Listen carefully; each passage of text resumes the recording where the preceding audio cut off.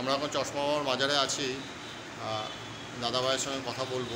আচ্ছা দাদাভাই বলুন একটু চশমা বাবার সম্বন্ধে একটু বলুন। আপনার নাম এবং ডিটেলসটা বলুন। নাম হচ্ছে শেখ আমি এখানকারই বাসিন্দা।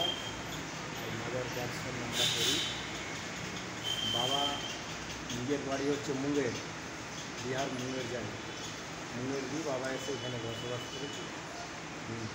বাবার গুজরাশ্বরী মসজিদের আগে আছে এখানে ওনার সমাজ এটা সমাজ এটা সমাজ প্রতি বছর উর্দুর হিসেবে আট জামাতি ইসলামীতে এনার মেলা লাগে পাঁচ দিন মেলা হয় এই মেলায় প্রতিটা ধর্মের লোক আসে হিন্দু মুসলমান শিখ ইসাই সব থাকে সবাই মিলে ঝুলে এই মেলা আমরা করি একদিন জলসা হয় চার দিন কাওয়ালি হয় বাইরে বাইরে দিয়ে কাওয়ালরা আসে জলসার লোকরাও আসে মৌলানারাও আসে এবং খাওয়ান দাওয়ান সব কিছুই হয় লঙ্গর টঙ্গর সবই চলে মাজারে দুখানা মতোয়াল্লি মারা গেছে এখন তৃতীয় মতোয়াল্লি সাইদ রাজা আমার ভাইপো।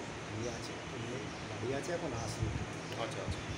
আচ্ছা অনেক দোকানে আছে মানে হিন্দুদেরও দোকানে আপনার চশমা ফটো আছে এবং কিছু লেখা টেখা আছে। একটা ভগবান মানে, ভগবানের ফটো ওনাকে মানে, রেখেছে হ্যাঁ। ওনাকে মানে মানুষ হিন্দু মুসলমান সকলেরই দোকানে আছে মানে হিন্দু উনি হিন্দু মুসলমান সবারই সবাই লোক ছিলেন ওনার কাছে কোনো জাত ধর্মের নেই সকলেই আছে। আচ্ছা আচ্ছা।